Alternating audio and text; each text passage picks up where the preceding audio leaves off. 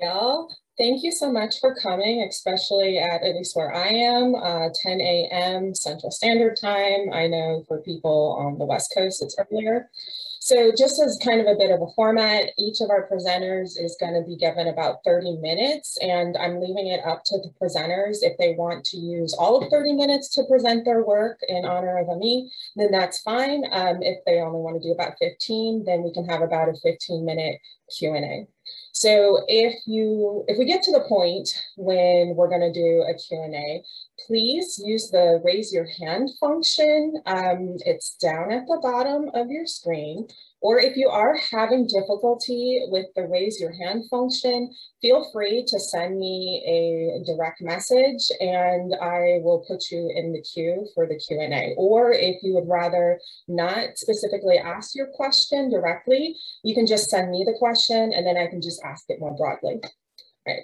So without further ado, we will start with Dianna Taylor from John Carroll University presenting Violent Bodies Revisited.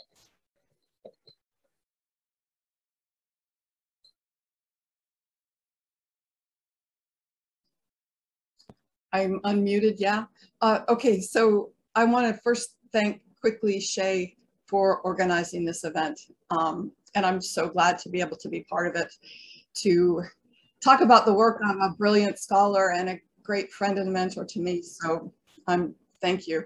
Uh, I'm going, I have some slides because I have, it'll, I think, move my presentation along. I want to have time for Q&A. So I'm going to share my screen and bring that up.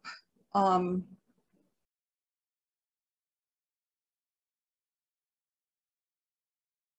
if I can do that, yeah. Um, should be here. Uh, let me, it, can you all see it? Good, okay. This big, put that there. So I got to go to the beginning here. Okay. So I'm going to read my paper, but as I said, I'm going to refer to the slides because it will help things move a little more quickly. So uh, Violent Bodies, it's the title of um, the final chapter of Ami's book, um, The Subject of Violence, her uh, 2002 book. Uh, go back. And so I wanted to have a, a look at that uh, chapter because I know that a lot of her work focused on violence within the context of armed conflicts like genocide, war, and terrorism. But I'm interested in this chapter because of the um, my current work. I'm, I'm looking at feminist counterviolence in response to violence against women. And I want to be clear that when I refer to women during this presentation, I'm referring to cis and trans women. And so I want to start off with a, a little epigraph from Andrea Dworkin, she says, when we women find the courage to defend ourselves, to take a stand against brutality and abuse, we are violating every notion of womanhood we have ever been taught. The way to freedom for women is bound to be torturous for that reason alone. So in violent bodies, Ami argues from an Arendtian perspective that cultivating violent women bodies, that's her term, can be ethically and politically justified if, first, its nature and scope are narrowly defined, and second, if it is undertaken as part of an overall project aimed at countering men's systemic gender-based violence against women, if, in other words, such cultivation, such cultivation is characteristically feminist. So in what I'm going to say, I'm offering support for Ami's position, and I'm also going to distinguish my own stance from hers. First of all, we offer different readings of Arendt's work in her book on violence, and our broader philosophical influences overlap as well as diverge. While I don't address it here, I think world events as well as Ami's and my respective experiences of violence also play a role in similarities and differences in our approaches. So ultimately, I endorse what I think is a broader understanding and deployment of feminist counterviolence than on my reading Ami does, and I do so with less hesitation and ambivalence. Ami says that part of the reason for her ambivalence toward feminist counterviolence stems in part from her desire to distinguish between what she refers to as a ready to fight body, a body primed for violence, and a violent body that actualizes the violence of which it is capable. She describes this distinction between the ready to fight body and the violent body as being, quoting her, very thin. At the same time, she wants to maintain it, in part because she worries that in cultivating her own ready to fight body, she is unintentionally reproducing conditions for the possibility of the very violence that through doing so, she wishes to counter. And this is what she says about that and I won't read it for time's sake, but I'll leave it up here on the screen. So what she goes on to show is that at least when the violent women bodies in question actualize violence in carefully circumscribed ways as part of a feminist agenda, violent men's bodies and violent women's bodies are not ethico-politically equivalent violent men bodies reflect, reproduce, and enforce gender oppression, whereas violent feminist women bodies oppose it. Ami finds in Arendt's work support for, quoting her, a means to ends justification for the production of the implements of violence that is limited temporally and in its scope, end quote.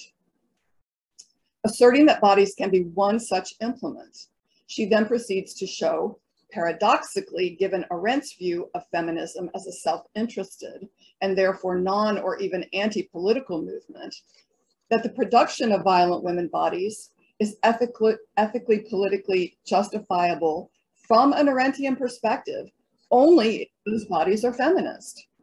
Like Arendt, Ami cautions that as a form of action, violence is characteristically unpredictable its effects can never be fully anticipated, and despite our best efforts to contain it in the ways Arendt and Ami describe, that is to limit it to an immediate response to a specific action or event, violence still has the potential to break loose from the boundaries of its intended aims and, as Ami puts it, run amok. At the same time, however, it is precisely this transgressive potential of violence its ability to transcend existing limits, like norms, that make it political from an Arendtian perspective. So Ami says here, and I won't read it because it's on the screen. And what I see her saying here is that neither cultivating a ready to fight body nor actualizing such a body through the use of feminist counterviolence is inherently anti-political or unethical from an Arendtian perspective. And I agree with this stance at the same time that I want to make a stronger claim that feminist counterviolence, either in the form of cultivating a ready to fight body or a violent body, is both ethical and necessary. In other words, I see Ami providing more of a negative justification for the use of feminist counterviolence. And I want to justify it on positive grounds. In my view, the ethical politics of counterviolence, feminist or otherwise, do not require its use to be limited to an immediate response to an immediate and specific threat. Rather, I think counterviolence would be ethically justified and politically effective when it is de deployed more broadly against oppressive systems. And I think there is support for this position in Arendt's work. At least part of the reason I break with Ami's reading of Arendt is that my entry point into Arendt's work on violence is what she has to say about rage. That this is the case is not coincidental because my work posits rage as the affective response to oppression, a response that, as Arendt shows, opens onto but does not necessarily lead to violence. In part three of On Violence, Arendt offers a critical response to the view that human violence is inherently, sorry, is inherent and therefore natural on the one hand and merely irrational on the other. Rage, she writes, can be irrational and pathological, but so can every other human affect, end quote. She points out, moreover, that contra the Western philosophical equation of affective detachment with objectivity, an absence of emotion does not signify the existence of rationality. Responding rationally and therefore reasonably and effectively to events of the world and other people requires the capacity, quoting Arendt, to be moved. Not affective responses, but their lack, she argues, is pathological. And she refers to this as a perversion of feelings. That affective responses can be stifled and withheld shows that the capacity to be moved is not simply given, and that rage, therefore, does not arise automatically. Conditions which give rise to it, according to Arendt, do not include, quoting her, misery and suffering, end quote. Natural disasters, she asserts, do not generally or primarily provoke rage. The extermination and concentration camps were not met with, quoting her, rage and violence, end quote, but rather with their conspicuous absence, a response she describes as being, quote, the clearest sign of dehumanization, end quote. Where rage does appear, then, is in the face of injustice, which she describes as conditions under which, quote, there is reason to suspect that things could be changed, but they are not, end quote. Unjust conditions for event are thus fundamentally contradictory and hypocritical. They're contradictory in the sense that change is needed and possible, but this change is denied. The need for the change is denied, and the change is therefore blocked. Unjust conditions are hypocritical because words are used to conceal rather than reveal, and appeals to reason are invoked to deflect, prevaricate, and entrap. It is in part two of On Violence that Arendt elucidates the point Ami foregrounds in Violent Bodies that insofar as violence is a means, it is always in need of justification. I think Arendt's presentation of rage as a reasonable response to injustice in part three provides that justification. To be clear, providing a justification doesn't mean that somebody unequivocally endorses this. As Ami shows, Arendt cautions that because of its volatile and potentially uncontainable nature, violence is most, of, most effectively utilized in the interest of achieving immediate short-term aims. The farther its intended end recedes into the future, she writes, the more the use of violence loses its plausibility, end quote. At the same time, inconsistent with Arendt's tendency to take positions that appear to be or simply are in tension with themselves, she also makes quite clear that sometimes violence is the only possible response.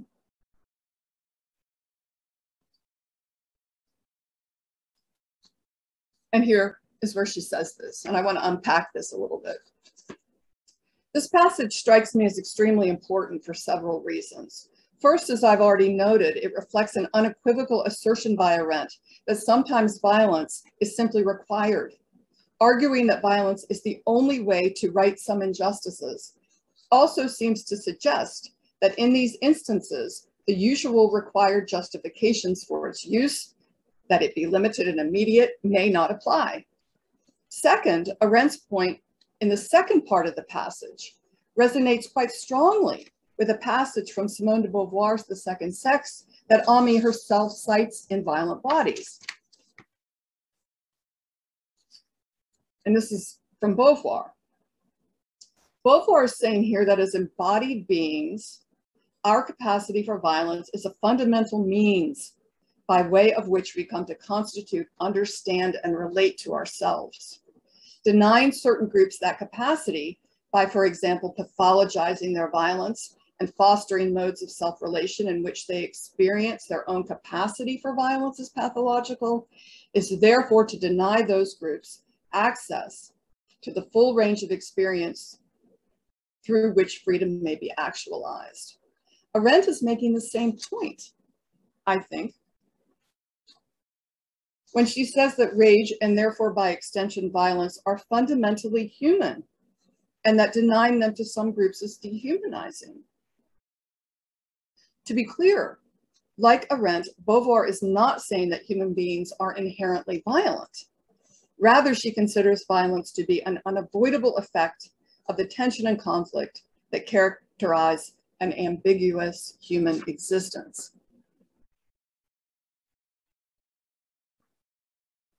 Finally, then, this passage from Arendt's work interests me because Ami doesn't cite it in Violent Bodies. Maybe she simply interpreted the passage differently. Maybe it didn't catch her attention because she doesn't approach Arendt's work on violence through her remarks on rage. Still, it seems to me that Ami must have noticed the similarities between this passage from On Violence and the one from the second sex that she does cite. And so I wonder, why Beauvoir and not Arendt? And I wish I could ask her about this. Our respective readings of Arendt are not the only point of difference in Ami's and my views concerning when and how feminist counterviolence may be exercised in politically effective and ethical ways. My work on counterviolence generally and feminist counterviolence more specifically is grounded in the tradition of critical phenomenology. I draw most heavily upon Beauvoir's work, but I also engage that of Frantz Fanon, Maurice Merleau-Ponty, and Arendt herself. And Michel Foucault's work continues to frame my understanding of the nature and function of power relations within contemporary Western societies. Like Beauvoir and Fanon, as well as Arendt and Ami, I understand violence as a manifestation of the human capacity for action. And here's the uh, bullet points of my other ways of understanding some of these important concepts. Um, and I won't read through it. I'll leave it there for y'all to have a look at, and I'll come back to it. But I do want to emphasize that feminist counterviolence takes the form of embodied responses to the violence against women that grounds, reproduces, reinforces, minimizes, and thus legitimizes gender oppression. So I'll go back to this and then I'll flip again to the other slide. Approaching counterviolence through the work of the thinkers I've mentioned alleviates but does not eradicate concern about the ethical politics of counterviolence, feminist or otherwise. Beauvoir, Fanon, and Merleau-Ponty are firm in their stance that counterviolence needs to be part of resistance against oppressive political systems. They focus primarily on fascism and colonialism that rely upon violence for their reproduction. Systems for which, in other words, violence is not merely an effect, but also a condition of possibility. In the face of oppression, Beauvoir writes, quoting her, the oppressed has only one solution, to deny the harmony of that mankind from which an attempt is made to exclude him, to prove that he is a man and that he is free by revolt, end quote. Revolt is ethical because it reestablishes reciprocity among human beings. It restores the ambiguity of existence and with it, the conditions for the possibility of freedom. As the passage cited earlier from the second sex makes clear, to be a meaningful actualization of human freedom, revolt must manifest in the body. And Fanon makes the same point. Counterviolence has to be on the table as one possible way in which revolt is expressed. My understanding of gender oppression affirms my belief that a broader use of feminist counterviolence is not only ethical, but politically effective and necessary. I see normative gender, normative gender, as an oppressive political system. Violent gendered relations of power ground and are reproduced through major social and political institutions, including those which function as resources for victim survivors, such as law enforcement, courts of law, and social services. Violence against women infuses fundamental structures of society. Whether carried out by state or non-state actors, it is both implicitly and more overtly legitimized, and sanctioned by the state. Official institutional interventions can therefore only manage men's gender-based violence against women. They are designed to deal with it after the fact. The vast majority of feminists, in contrast, wish to prevent and ultimately eradicate oppressive gender violence. Contemporary feminists, many of whom Ami cites in Violent Bodies, including Anne Cahill, Martha Martha McCaughey and Sharon Marcus make a strong case for the potential of feminist self-defense to facilitate these objectives, as did Beauvoir herself. Men use violent, violence against women in their language as well as in their gestures, Beauvoir observes. They assault women, they rape them, insult them, and certain looks are aggressions. Women must equally defend themselves with violence, end quote. Self-defense falls within the limitations Ami advocates concerning the use of feminist counterviolence. It is actualized in response to an immediate attack in the moment when it occurs. My view of normative gender as an oppressive political system points to the need for additional broader feminist strategies through which counterviolence may be deployed. Elements of grassroots, embodied, transgressive, and preventative strategies developed within the women's liberation movement, including, but not limit, limited to those aimed at reclaiming and transforming public space, and those which target known violent men might, be, might prove effective within a contemporary context, provided they are developed and deployed from an intersectional perspective. The impulse to reject such actions as vigilantism needs to be resisted, especially given the reality that when it comes to violence against women, the law functions as what Foucault refers to as a productive failure. Sexual and intimate partner violence law fail if we see their aim as serving victim survivors. When it comes to reproducing oppressive gendered relations of power, on the other hand, they are wildly successful. I identify interesting possibilities for feminist counter-violence, for feminist counter-violence advocates and anti-carceral feminists, for example, to form coalition in the face of this productive failure. Arendt tells us that acts in which men take the law into their own hands for justice's sake are in conflict with the constitutions of civilized communities. But that does not mean that they are in, inhuman or merely emotional, end quote. The line between bodies that enforce and oppose oppression, between oppressive violence and counter-violence may indeed be thin. But Ami is right that it cannot be maintained if feminists debate about quoting her, what is at stake and at issue, quote, end quote, with, with respect to the active configuration of violent bodies, and that's another quote from her, is simply foreclosed. She shows us that both engaging questions about the ethics and politics of feminist counterviolence and engaging in that violence itself needs to be undertaken thoughtfully and self-critically, as well as collectively and in solidarity with other feminists. Thank you.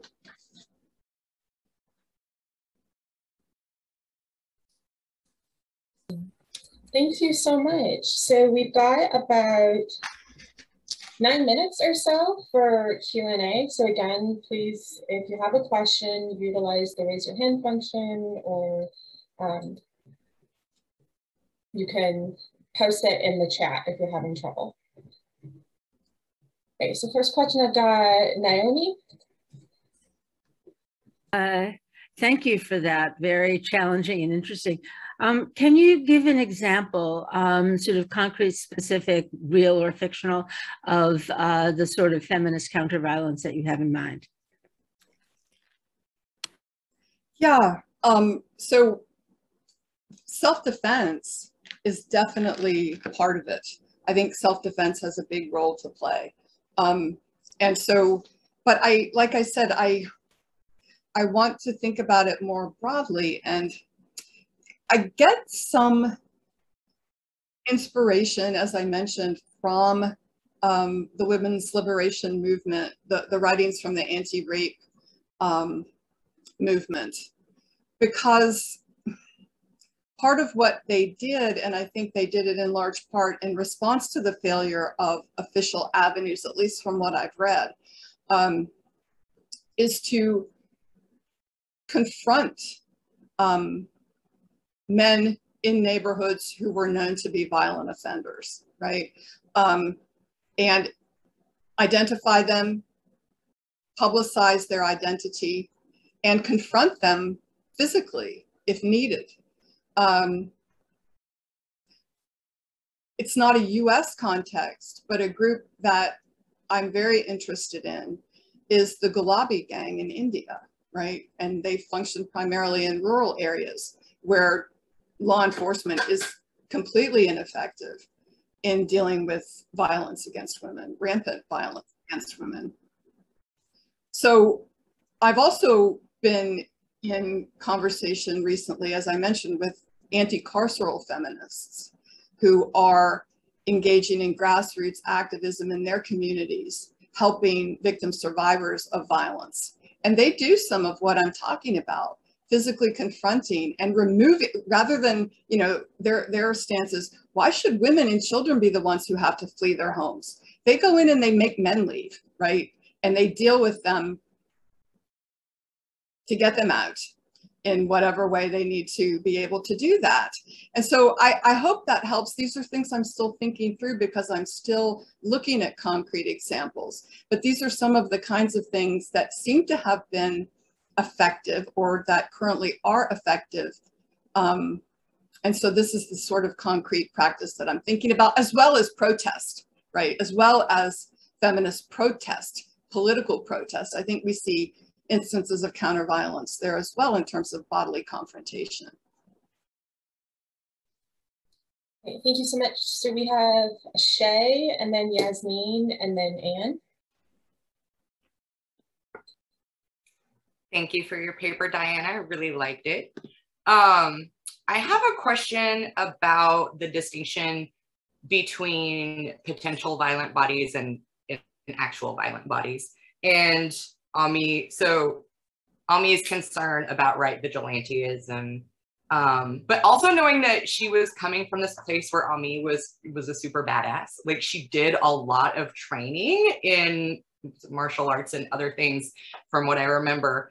Um, and so I agree with with your position, a more positive position that uh, women should have you know, more violent opportunities, if that's the way to say it. And I was wondering if you would think that maybe Ami would be amenable to the claim that just as we tell women that it becomes a pretty necessary part of self care to engage in therapy, that it's also a pretty necessary part of self care to engage in training the kind of training that Ami did that made her write this in the first place, right? So different kinds of, of fighting trainings, right? So that women as a whole can develop um, uh, potential violent bodies, right?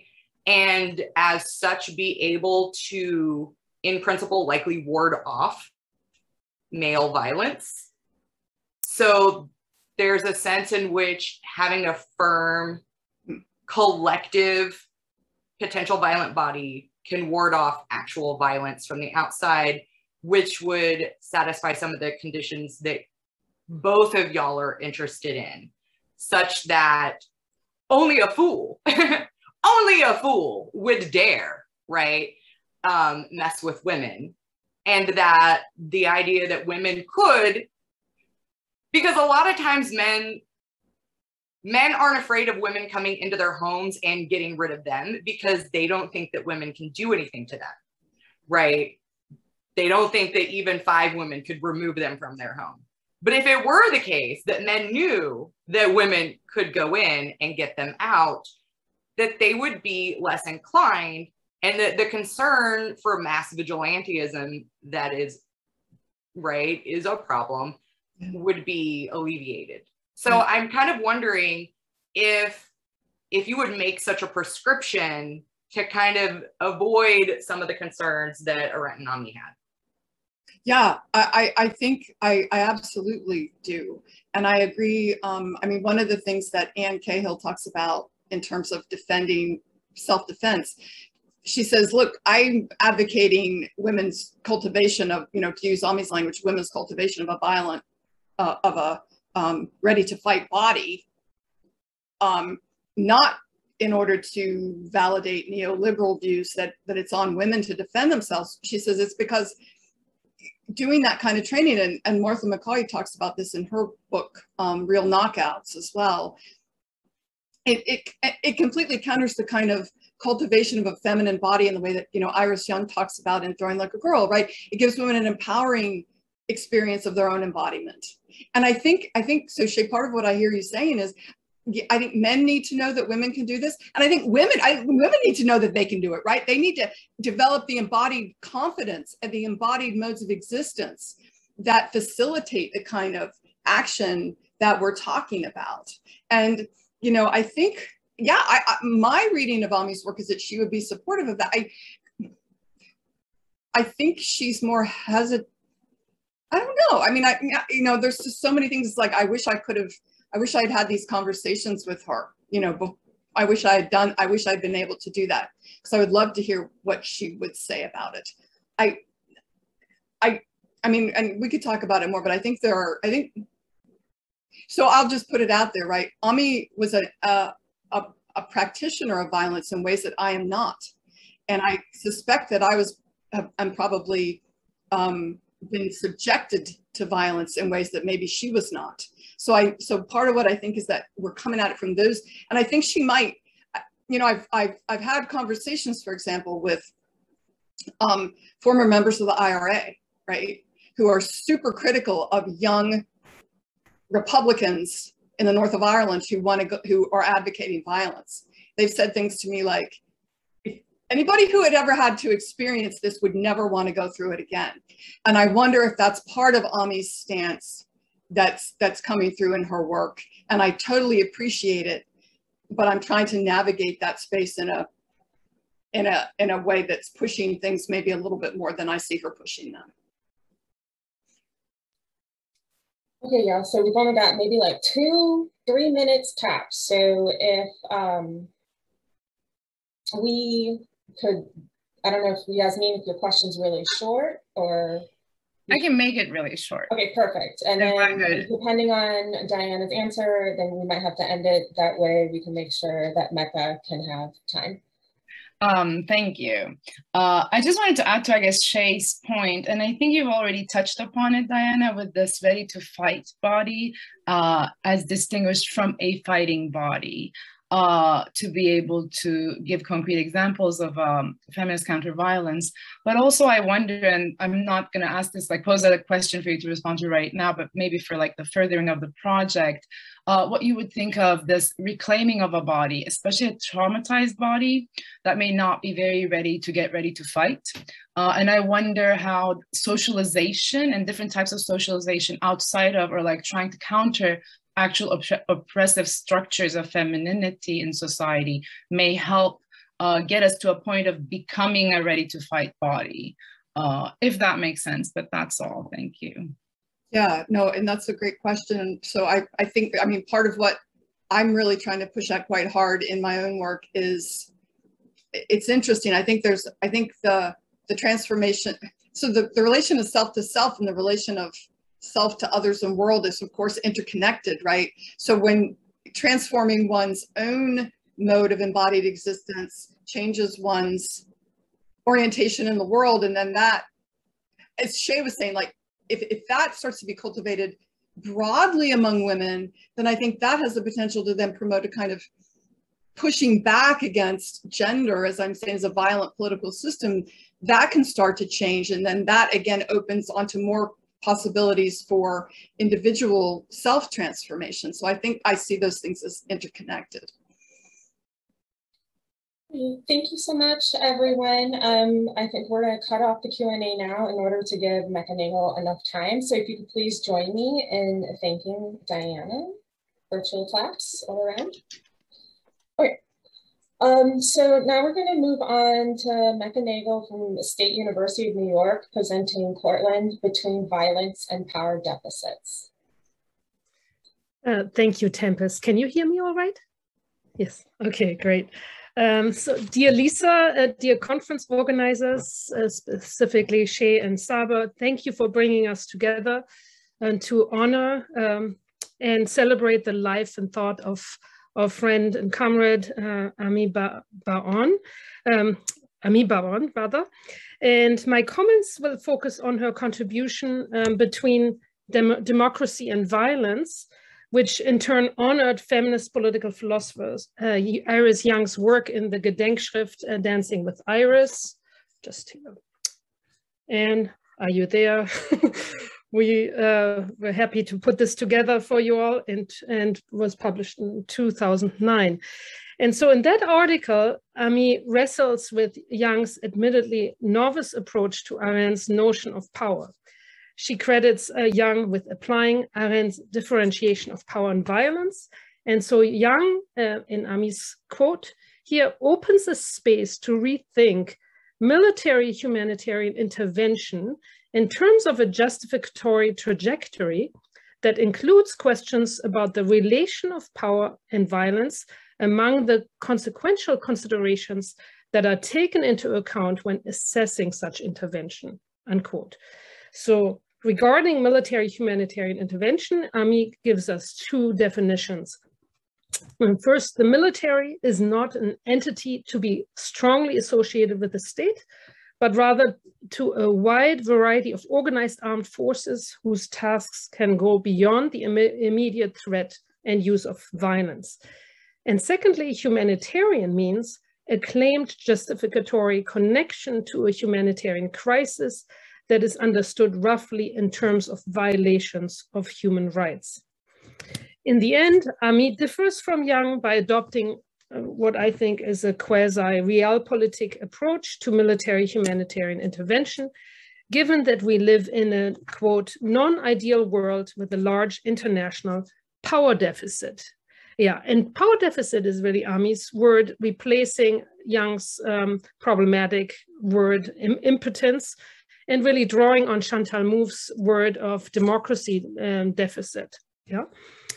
So in the case of post-war former Yugoslavia, Ami agrees with Habermas that such intervention was justified. I assume this is the case in order to create not only you know, dealing with violations of human rights issues, but also to create democratic governance structures, specifically, of course, transitional justice apparati. I must say that I am conflicted about this perspective. At a conference in Poland about a decade ago, I met a survivor of the siege of Sarajevo, um, who lived through it for those four long years, where some 14,000 people were killed and ended only in 1996. And there's no doubt that he was haunted by the trauma on a daily basis.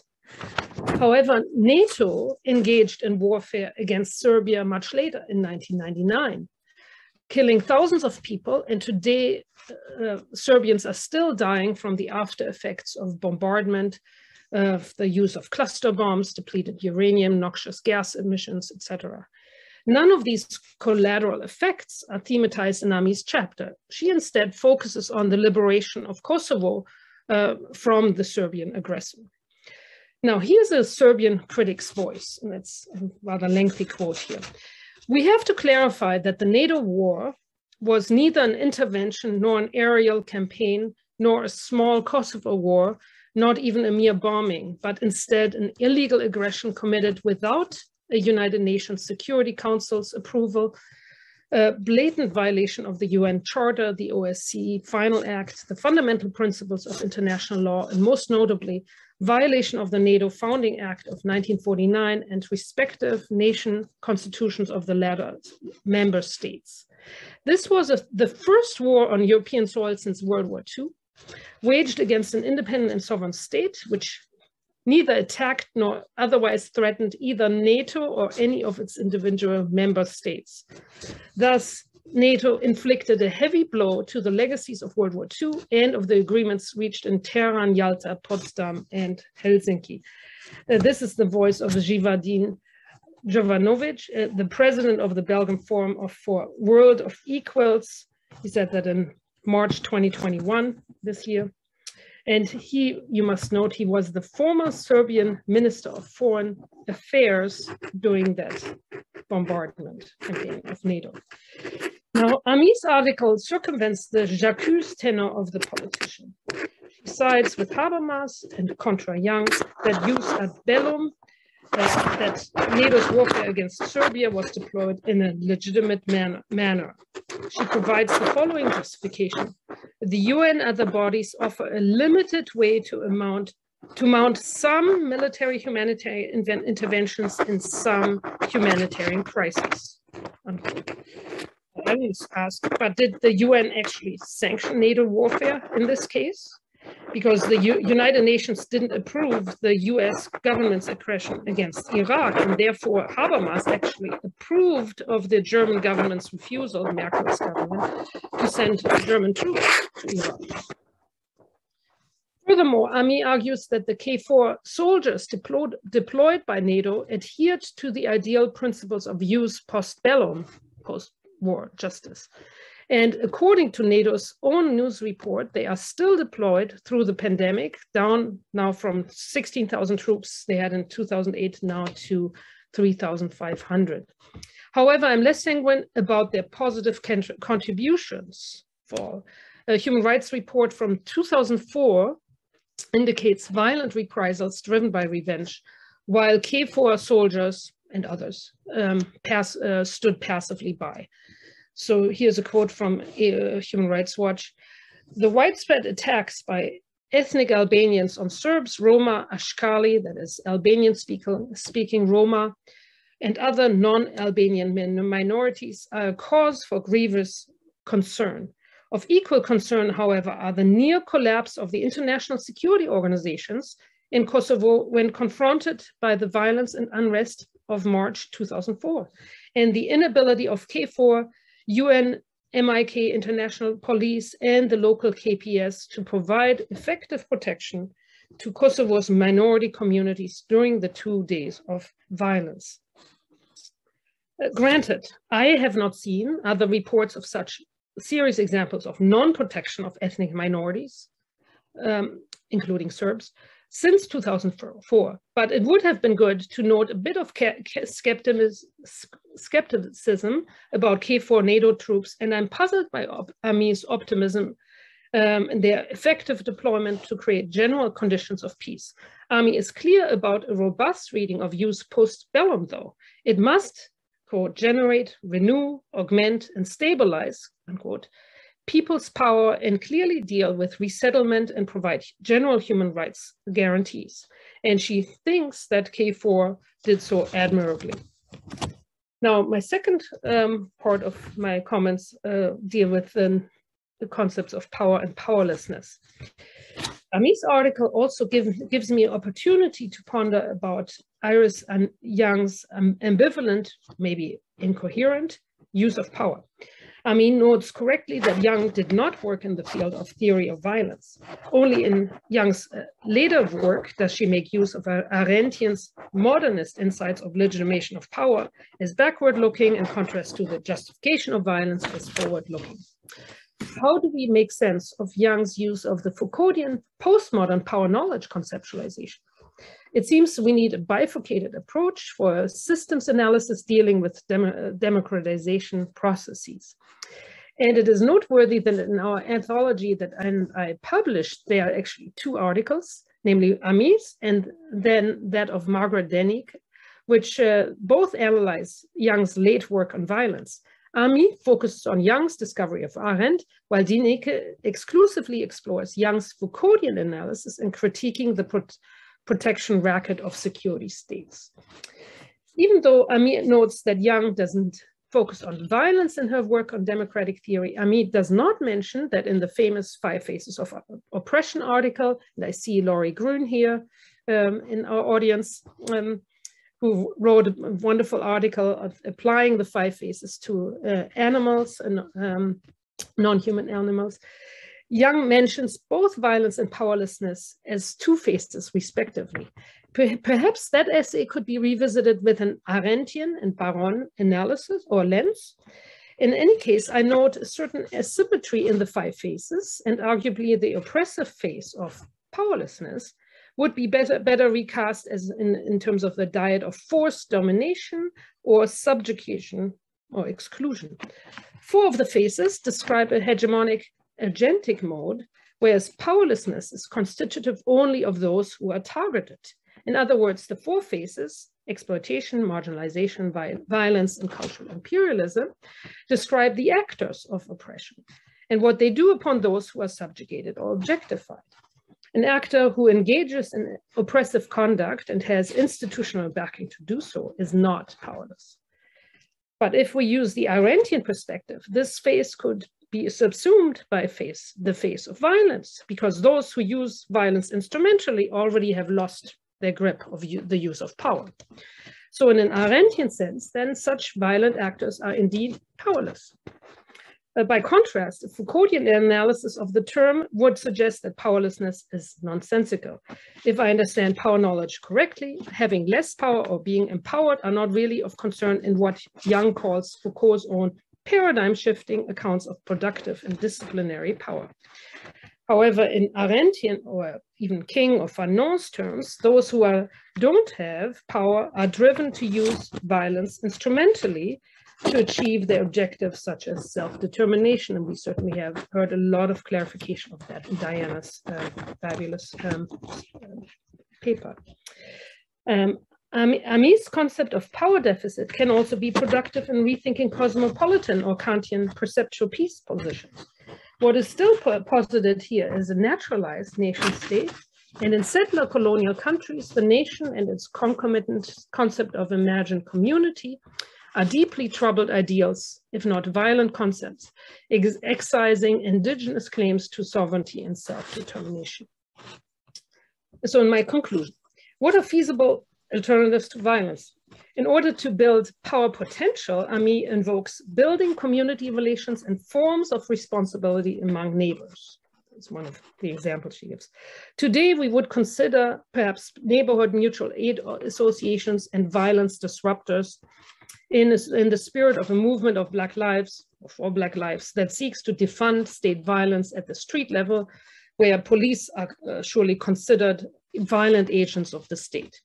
Police brutality as such was a concern of Iris Young, as Ami points out in her article. But according to Young, a police force is legitimate where it maintains the legal order with some in inevitable modicum of coercion. However, as a penal abolitionist, I find that policing is only one violent facet of the oppressive institution of the criminal legal system in general. Personally, I would appeal with Angela Davis to the notion of um, abolition and democracy, first postulated by W.E.B. Du Bois, to rethink all social and political institutions from the ground up. Perhaps a good model the, is the good governance principle of the Zapatistas who continue to hold widespread indigenous support despite severe Mexican government repression. Their recent tours sailing to Spain to reconquer it peacefully after 500 years of violent suppression and genocidal imperialism um, is, to me, a ludic Ubuntic expression of decolonial internationalist abolition democratic pursuits. What does ludic Ubuntu mean? I suggest that indigenous peacemaking is always focused on intersubjectivity, on a caring relationship with the other. Forgiveness is one such phase uh, which the reconquistadoras expressively refuse. Uh, this is not surprising because peacemaking, especially with respect to enduring global structural injustice and racial capitalism, is an extensive process of accountability. Here we can debate whether Iris Young's critique of the liability approach is helpful, uh, in addition to Margaret McLaren and uh, Anne Ferguson's amplification of Young's approach as one that envisions relational cosmopolitanism uh, and uh, solidarity practices.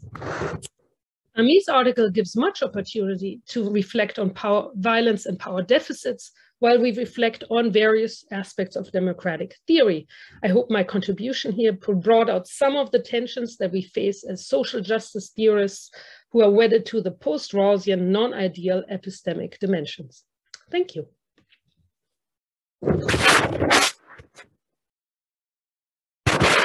Thank you so much.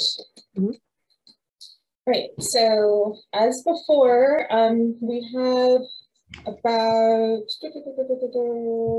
a little over 10 minutes for Q&A. Um, I'll probably go a bit over since we had a few introductory remarks and I want to give um, Mecke equitable time. So if you do have any questions, please go down to the bottom of your screens, hit reactions, and there is a raise your hand and I will make a queue or you can message me directly.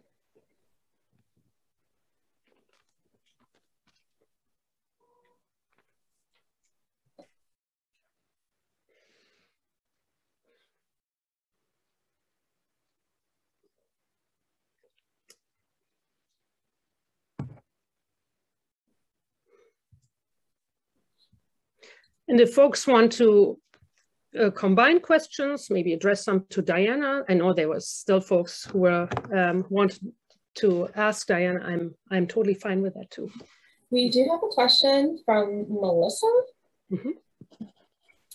Thank you, Mecke. That was really, really interesting. And of course, what what really what really perked up my ears was the phrase that you used, ludic Ubuntu.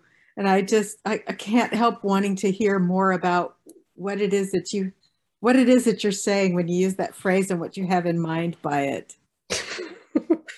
yeah, uh, thank you. Um, um, I'm actually writing this book about it. so I thought. right? uh, so I couldn't help myself to sneak it in here, right?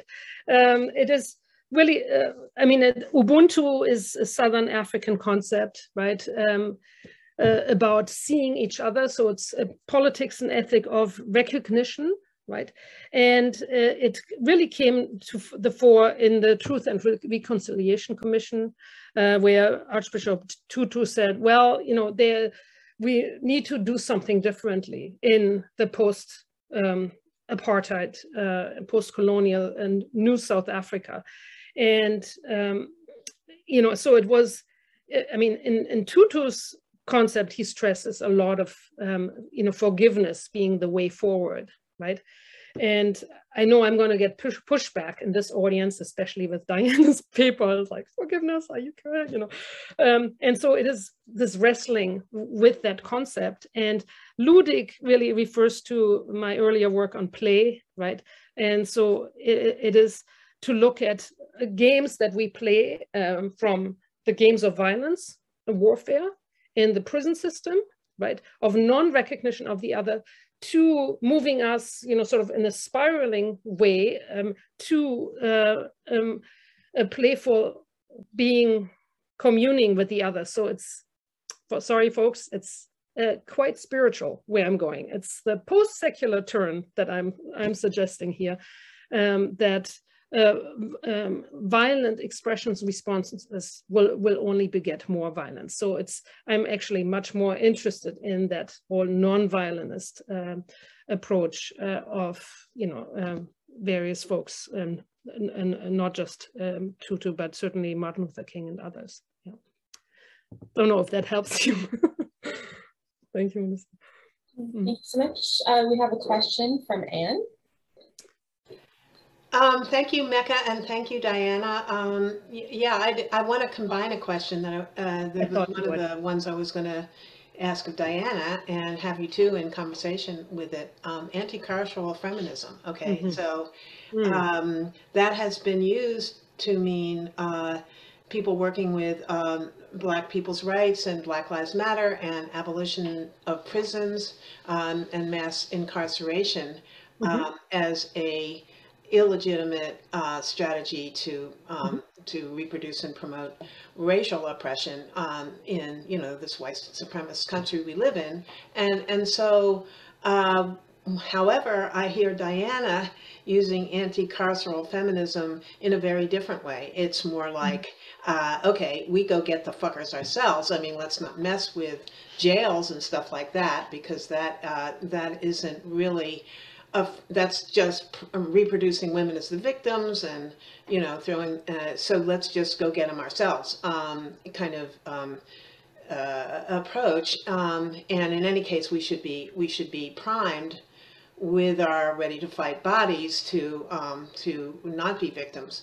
So there seems to be uh, you know a tension there especially if you want to have coalitions uh, that deal with racial oppression and gender oppression. Um, and I'm also thinking being, uh, you know, an activist using nonviolent techniques of your of your spiritual turn. I mean, obviously the civil rights movement really, um, and Barbara Deming, for example, really thought of mm -hmm. uh, the that in some ways, um, you know, a group um, militantly confronting mm-hmm. um, a, a, a, an oppressive situation with their bodies, but insisting that they were not going to be the ones that struck the blows, um, therefore demanding moral recognition on the part of the others, was in fact ultimately a more powerful force than uh, simply violent bodies that are going to do counter violence. So I just wanted you guys to talk a little bit about this tension and your thoughts.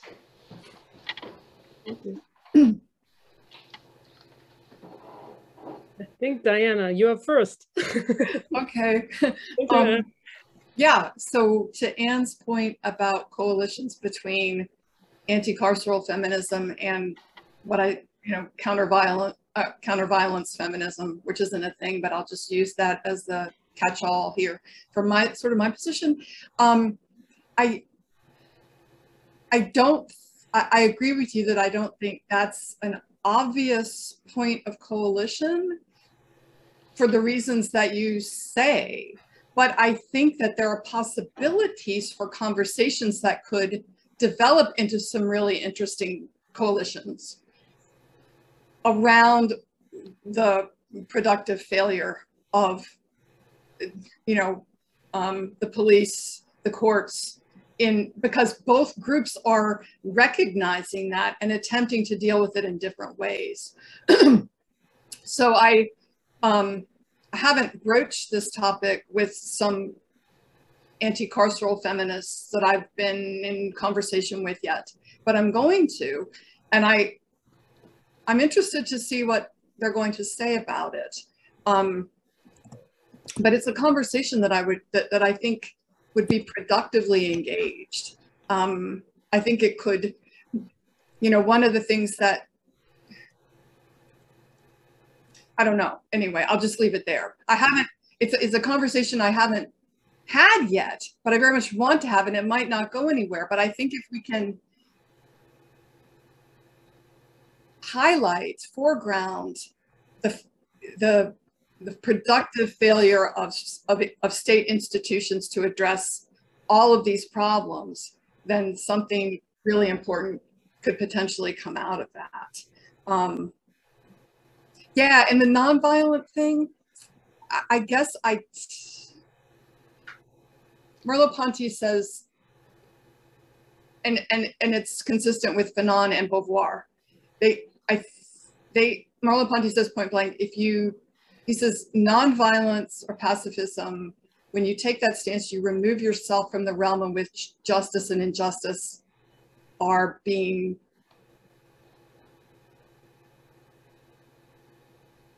debated or deliberated. Hmm. And I guess I take that pretty seriously. Mm-hmm. we could talk more about that, but mm-hmm. this is a position I have come to mm-hmm. I haven't always taken. So I don't know if Mecke wants to take, say some more about that.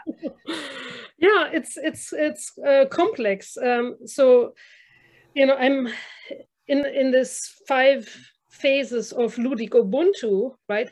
Uh, there's a prominent phase um, of of anger, right? Of the need of moving, you know, of uh, resentment and hate being lower expressions and uh, anger. So I'm, I'm really looking at the law of emotions, which is a, basically a new field in, in law studies, legal critical legal studies.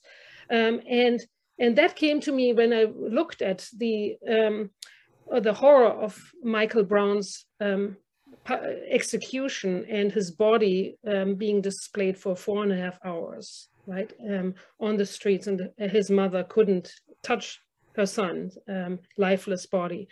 Right? So the lack of piety, you know, um, the lack of, uh, you know, really um, of, of Black lives indeed not mattering, which is a slogan that really came out of the Trayvon Martin, um, George, George Zimmerman's trial, right? Um, so there's there's this need for an outcry, right? And, and then the higher expressions to look through restorative justice you know, and then the TRC was really wedded to the restorative justice aspect. And then transformative justice, um, that as Dianna says, um, the state apparati don't work. Um, they're extremely unjust. And what is it um, that indigenous practices show us as um, as you know, uh, giving us a different way. And so there's some really interesting work that you may want to look at is um, uh, uh, that you know with uh, with respect to intimate partner violence um, to use shuttle diplomacy, right? Uh, so not direct, uh, you know, um, feminist, carceral feminists correctly said, you know, say that you can't just um, put somebody who's um, who has been violated, um, you know, and assaulted into the same room with somebody who has that power over them, you know, in the moment in terms of psychological power. Yeah, but um, putting folks into different rooms, uh, different spaces, working, you know, giving psychological support um, to the victim is super important. And, and also really figuring out what is it about that oppressor, that person who violates, you know, recurring back to their childhood, you know, what adverse childhood experiences with it. And so this is where the aspect of, of compassion comes in. And for Tutu, just put it very provocatively, there's a bit of the oppressor in me you know, that recognizes what the apartheid regime did. It's like, yes, I could have been in that position too if I had been on the other side. Yeah. Um, so it is really sort of a dialectical dance. Um, and uh, there is no need to become stoic and saying, well, you know, it's all good. And I must, you know, uh, really break bread with that, with that person um, who damaged me, you know, in, in most horrible ways. Um, but it is really starting, you know, having more complex sense than leaving at what I'm hearing, you know, Merleau-Ponty's view on nonviolence. I st still hear the sentiment of rage and resentment and revenge. And those to me are not productive. Um, you know, at least uh, ludic Ubuntu in its higher expression um, would, you know, uh, look at it from more of an observer perspective and saying, well, I understand that perspective, but there may be another way. Yeah. I, I just wanted to follow up really quickly and clarify. I, do want to say, because I'm, I'm chair of this, uh, so we are actually at time. Um. I know that there's Courtney and Asha who also have their hands up, but um, if it's okay with Saba and Shay, because I one of the things I do love about Feast is the after conversations. Um, are, would we be able to create a breakout room, like to have an after talk kind of continued breakout room? So if people want to go um, to the after kind of talk place, they can still have these conversations? I think people can stay logged on that want to okay. stay logged on here. And then, um, and then if you want to log off, uh, you know, you go ahead and take your break right now and then come back at 11.30 for the next session. But please try to log on like five minutes before. So 11.25 for the next session. So um, we'll, if you want to stay in chat, feel free. I think we can set up the requirements to stay in chat. Uh, but if you please join me in another round of official applause for our presenters. Thank you. Thank you so much. All right, yeah, keep talking. so yeah, I Tempest. I, I just wanted to say that I what I want to be really clear that I don't want to replace nonviolent approaches with counterviolence. I'm not saying that counterviolence should always be used. I just want to say that I think it needs to be on the table. And I think that, uh, and Ami addresses this at the beginning of violent bodies, and I think it's true. And I think there are good reasons for this, that as feminists, we've tended to say violence is what men do to us, and so we aren't going to engage that. And I want to just bring it back and have it as part of the conversation because I agree with, um, you know, the, the thinkers that I've cited that I think sometimes, sometimes it can be productive, and I think sometimes it's needed. And I think that the difficult conversations are around when and how and in light of the fact that violence has this explosive potential that that Arendt points to and Ami acknowledges and I think is right. Um, so I'm, i want to be clear, I'm not taking that absolutist position and saying counter violence is always the way to go, but I think sometimes it is. And I think uh, that, and, and I, that's what I want to talk about. Mm-hmm.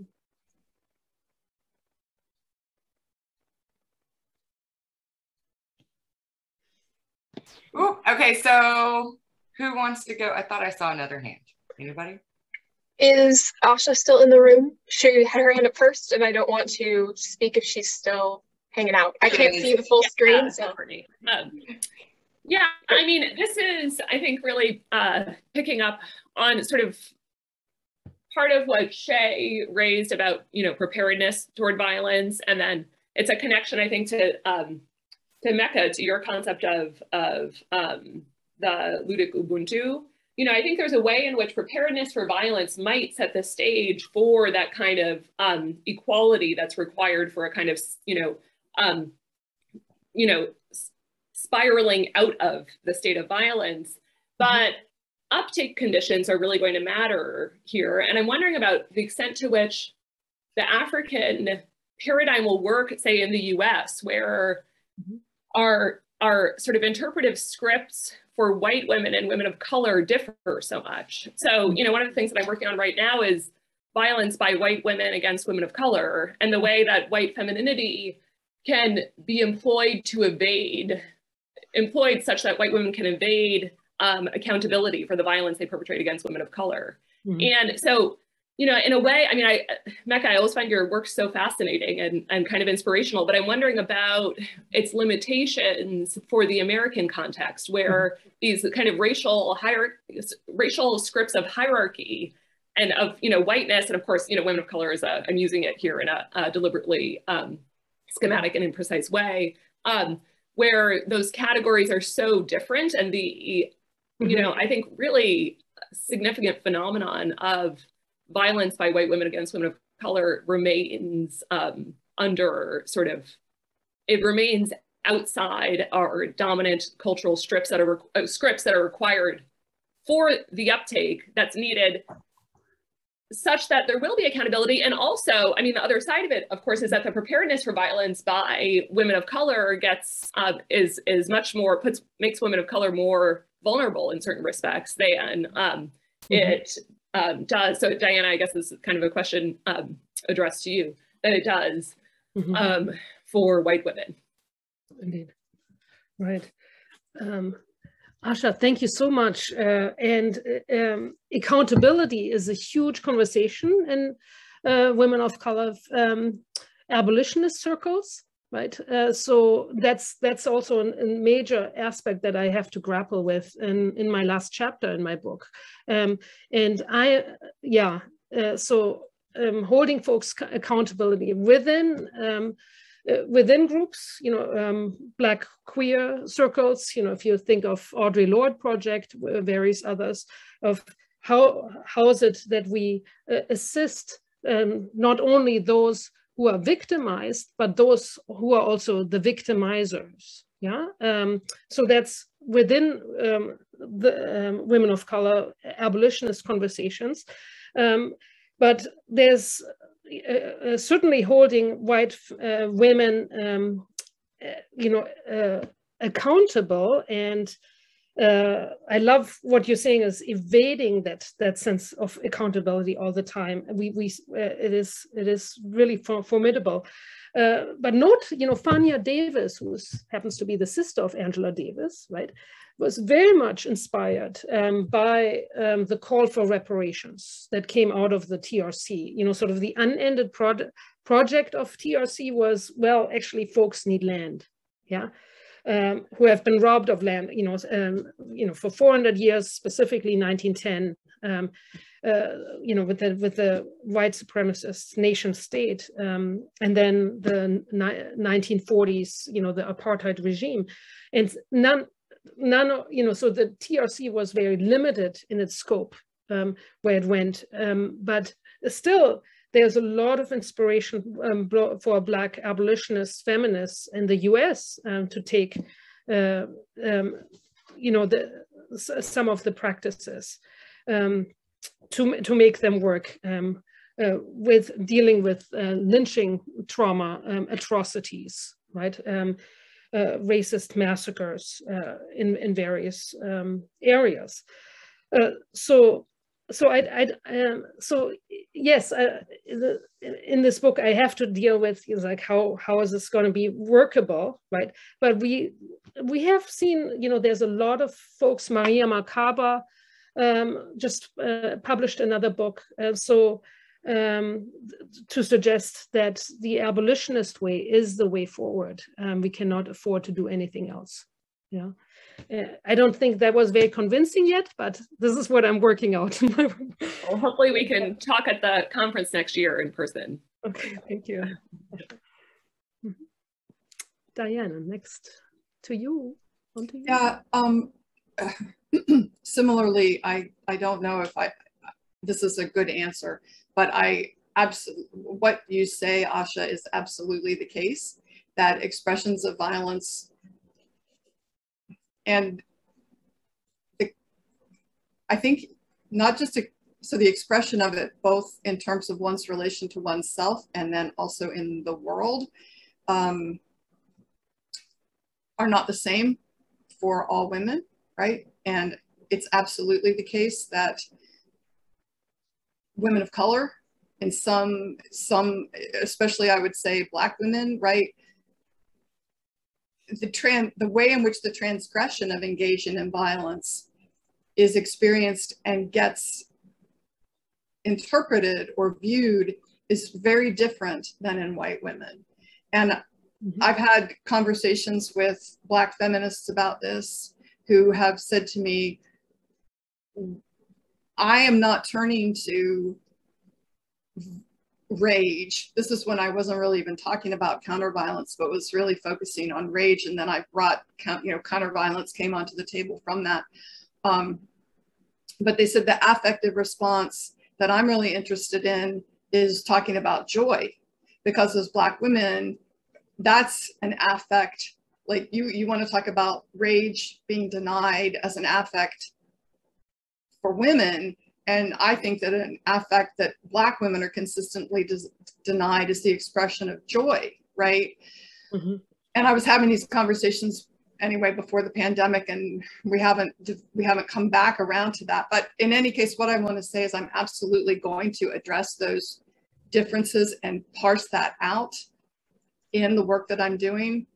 Yeah. Part of what I've looked at, for example, is the um, there was a letter that black femi or feminists of color, I think it was predominantly black feminists wrote to the anti-rape movement in, it was an open letter that they wrote to the anti-rape movement during the women's liberation movement.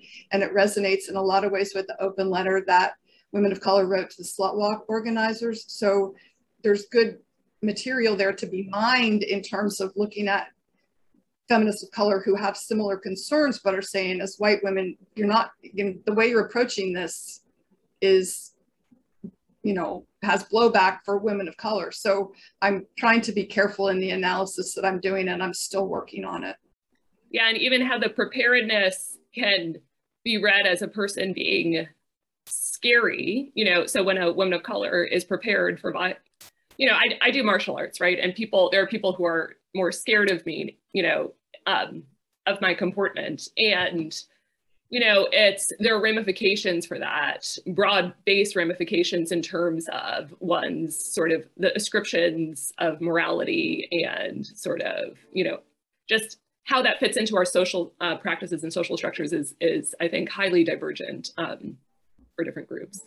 Mm -hmm. like, Okay, I think Courtney was our last person, and then everybody get a snack since there's none in the hallway. what a loss.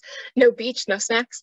Um, so thank you, thank you both. Um, I think that my question, um, the, the nature of my question, it sort of comes up in some of the examples that both of you are discussing. So I think the implications are uh, maybe relevant for both of you, but I, um, uh, personally, the seventh chapter of Ami's book is my favorite piece that she's written. Um, and I spend a lot of time with it. And so, Dianna, when you were talking, um, the examples that you used and, your probably approach through that text kind of made it um, I, I, can see the connections better to your work. Um, so this is directed maybe a little more towards you. Um, and I apologize for that, Mecke. Um, when you give some of your examples, uh, I unfortunately I can't point to somewhere in Ami's scholarship where she's published this. I can only think of conversations that she's had, mostly complaints about my own um, style of thinking. When you give some of your examples, I'm wondering if you draw a strict um, limit or definition around what counts as violence. So uh, when I first approached Ami with some of my own work very early on, coming right out of undergrad, um, I sort of wanted to count lots of things as violence. Um, and she responded to me saying that, you know, violence is the punch, it's the kick, um, it could be the bullet, um, but it's not some of these other elements that, you know, Dianna, when you mentioned um, the protest is, is one of your examples of counter violence, you know, are you thinking sort of the broad protest or are you specific and i know this obviously happens are you locating violence as those very specific instances where there is the kick or the punch because i know i'm drawn to that tendency to say it's all violent um, but i think that i actually have been convinced over time by ami's more strict countenance you know we have um, we have all of these other rich uh, conceptual terms that we can use to describe the other elements that might happen, for instance, at that protest.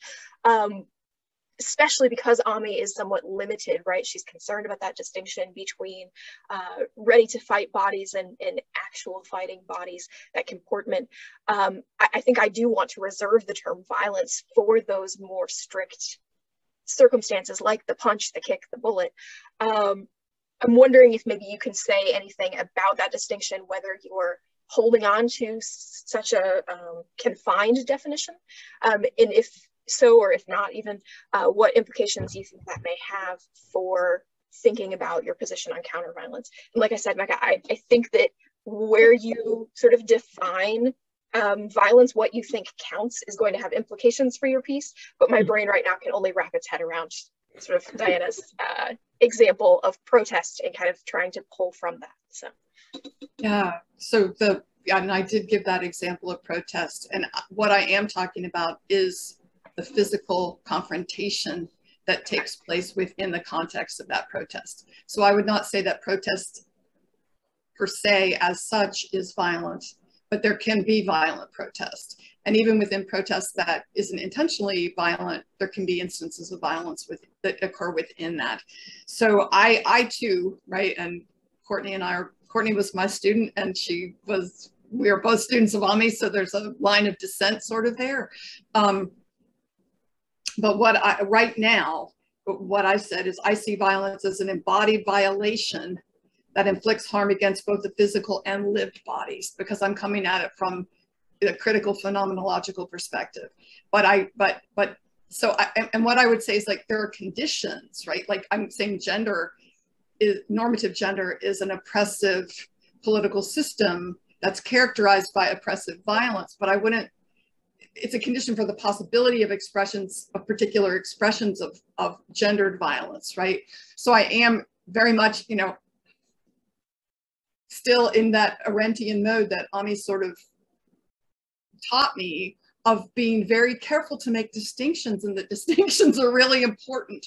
So I'm trying to make those distinctions um, and to adhere to them at the same time that I guess I do. you know, as I said, I think Arendt was not very willing to acknowledge when there was slippage in her work, but there was it was there. And, and Ami acknowledges the, the, the potential for that. Um, also the need to be clear and to be and to make distinctions at the same time that we recognize that they don't always hold. But that's I'm so my the way I'm thinking about violence is very much in tune with the way that you're thinking about it as well.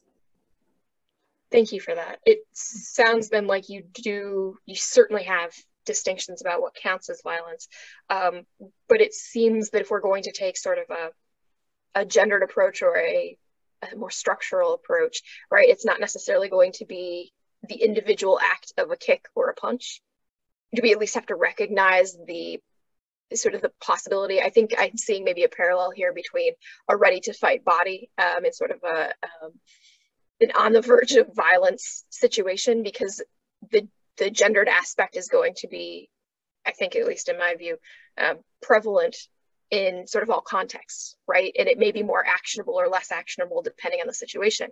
Um, but it, it sounds like you have that conceptual distinction, but it is going to be broader than at least that little tidbit of um, distinction that I got from Ami, where it's a kick, a punch, a bullet, and no more. I'm not sure I, understand exactly your question. Um, is the ready to fight body I think I agree with Ami that the ready to fight body and the violent body are different things. I think they're different. I think okay. I think being able to engage in a physical confrontation and being ready to do that, being prepared, that's different than actually being involved in a physical confrontation. I would argue that the um, embodied experience of that, the phenomenology of that are, are, are, are different.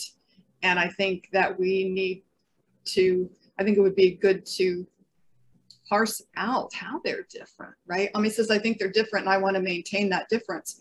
But she doesn't go into the sort of phenomenology of that difference. And that might, you know, you just given me, it's like maybe that's something that I should articulate if if if we want to maintain that difference, like how they're phenomenological, how the violent body and the ready to fight body are phenomenologically not the same. They're, they're certainly related, but I don't think they're reducible to one another.